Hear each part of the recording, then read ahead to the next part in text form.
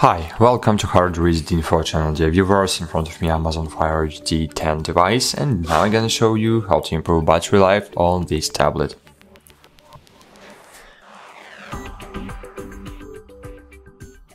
So firstly, you need to open the control panel and disable all unnecessary features. So if you don't use Wi-Fi right now, disable it, disable auto rotate, um, disable Bluetooth, disable uh, cloud sync.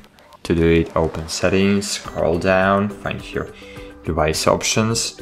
Here you'll see backup and restore and disable backup and restore future. And of course, the last step you can do to improve battery life on this device is to open the battery. So sorry I can't do it right now, I don't know why. My device Okay, it's here. So open the battery in settings, then scroll down and find your low power mode and enable it. And great! In this way, you can extend your battery life on your Amazon device. Thanks for watching, like this video, subscribe to the our channel and bye! See you!